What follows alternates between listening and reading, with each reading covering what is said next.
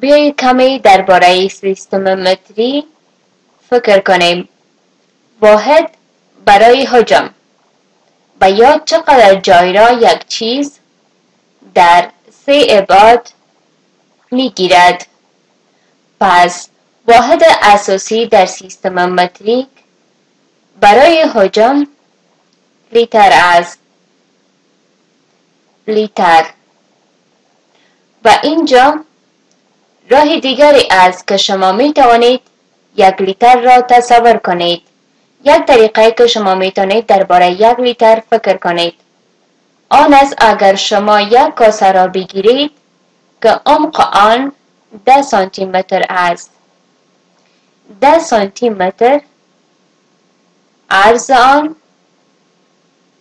و ده سانتی متر طول آن. بعدا این مقدار ساحه را که شما می‌گیرید این حجم یک لیتر است. پس این درست اینجا. یک لیتر است.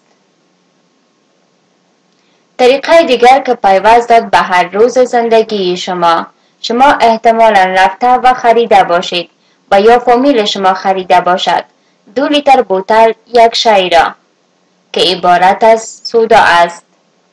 پس دو لیتر بوتل ها هستند. قسمی که من تذکر دادم اینها دو لیتر هستند. پس اجازه ده کوشش نماییم. تا رسم کنیم آن بوتل ها معلوم می شوند آنها چیزی مانند این معلوم می شوند حداقل در امریکا اکثرا سودا و چیزهای دیگر در این بوتل های دو لیتره منحل خواهد شد. پس اگر شما نصف این را بگیرید شما با یک لیتر ببینید. پس لیتر در حدود نصف این خواهد بود. پس اگر آن نصف پوره است یک لیتر در حدود همان اندازه خواهد بود. و امیدوارم آن سازگار باشد. و یا آن مفهومی در رابطه به این ده سانتی متر بدهد. توسط ده سانتی متر توسط ده سانتی متر مکعب حالا اگر شما می خواهید اشیا را اندازه کنید بسیاری ها است که کوچکتر از یک لیتر است که واحد مخصوصی استفاده می شود و به طور آشکار در سیستم متریک شما همیشه می توانید که پیشوند دیسی را استفاده کنید. سانتی. اما یکی که معمولا خاص استفاده می شود آن میلی لیتر است. میلی لیتر و شما در حال حاضر پیشوند میلی را دیده اید. یعنی یک بر هزار. پس این یک بر هزار یک لیتر معنی می دهد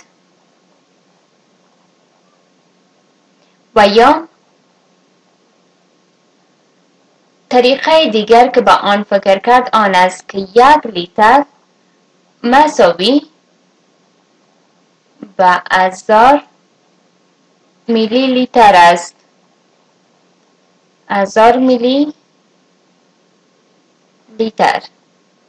و اگر شما بخواهید که تصور کنید که یک میلی لیتر چطور معلوم می شود تصور کنید که یک کاسه را گرفتید و به جای ساختن هر عباد آن به ده سانتی متر تنها یک سانتی متر هر عباد آن را بسازید.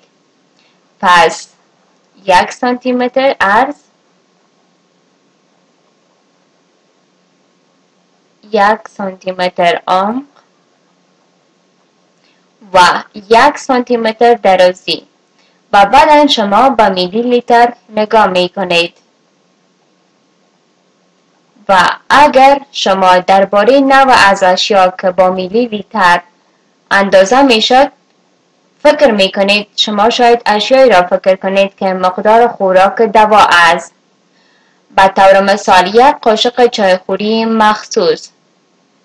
که شما شاید در کابین خود دیده باشید. کمی بیشتر از 4 میلی لیتر است تقریبا 5 میلی لیتر پس آن برای خوراک دوای خوب باشد. و یا شاید چیز کوچکی در بعضی انواع از یک نقصه باشد. اگر شما بخواهید که بزرگتر از یک لیتر بروید و یک بار دیگر شما می توانید تمام پیشمندهای متریک را استفاده نمایید. شما دیسی لیتر را استفاده کردن می توانید شما هکتو لیتر را استفاده کردن می توانید اما یک چیزی که معمولا در کیلو لیتر استفاده می شود کیلو لیتر. و قسمی که پیشمند کیلو معنی می دهد این معادل به هزار لیتر است. و اگر شما بخواهید که این را تصور کنید آن در حقیقت به حد بزرگتر نیست به حدی که شما شاید فرض کرده باشید. اگر شما یک کاسه را بگیرید و این طرف به جای اینکه هر عباد آن را ده سانتی متر بسازید اگر یک کاسه را بگیرید که هر کدام بعدن آن دقیقا یک متر باشد پس یک متر عمق یک متر عرض و یک متر درازی. یک متر عرض و یک متر درازی. آن حجم مساوی به یک کیلولیتر است.